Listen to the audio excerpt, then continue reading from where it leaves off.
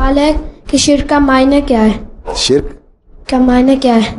شرک کا معنی یہ ہے کہ شریک ٹھہرانا اللہ تعالیٰ کے برابر کسی کو لے کے آنا۔ ٹھیک ہے؟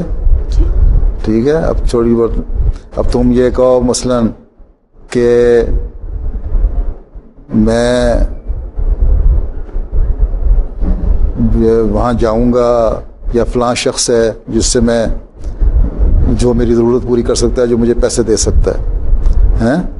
اور تم اللہ تعالیٰ کو بھول جاتے ہو تو اس کا مطلب ہے تم شرک کیا۔ ٹھیک ہے؟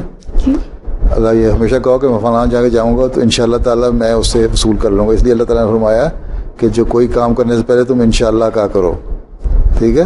جب ان شاء اللہ کہا کرو اس کا مطلب ہے کہ جو اللہ چاہے تو ان شاء اللہ یہ کام اللہ تعالیٰ کر دے گا یہ کام ہو جائے گا۔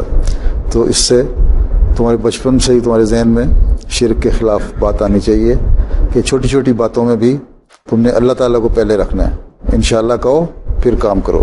کہ انشاءاللہ میں یہ کام کر لوں گا۔ اللہ چاہے گا تو میں کام کر لوں گا۔ کسی دوسرے میں طاقت نہیں ہے وہ میرے کام کر سکے۔